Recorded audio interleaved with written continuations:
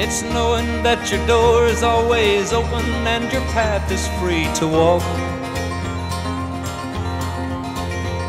That makes me tend to leave my sleeping bag rolled up and stashed behind your couch.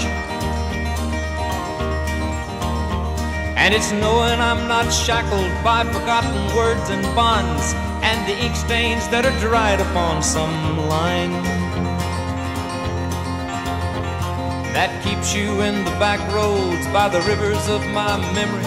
It keeps you ever gentle on my mind. It's not clinging to the rocks and ivy planted on their columns now that bind me. Or something that somebody said because they thought we fit together walking. It's just knowing that the world will not be cursing or forgiving when I walk along some railroad track and find that you're moving on the back roads by the rivers of my memory, and for hours you're just gentle on my mind. Though the wheat fields and the clotheslines and the junkyards and the highways come between us. And some other woman's crying to her mother cause she turned and I was gone. I still might run in silence, tears of joy might stain my face, and a summer sun might burn me till I'm blind but not to where I cannot see you walking on the back roads by the rivers flowing gentle on my mind.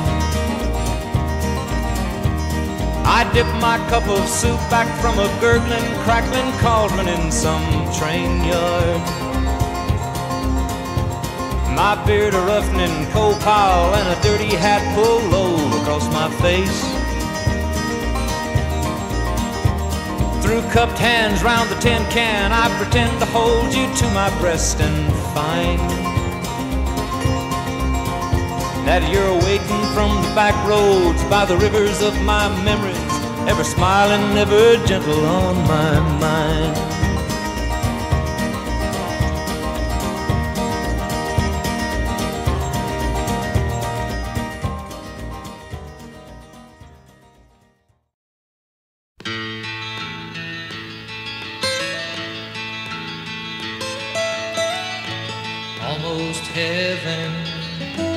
Virginia, Blue Ridge Mountains, Shenandoah River.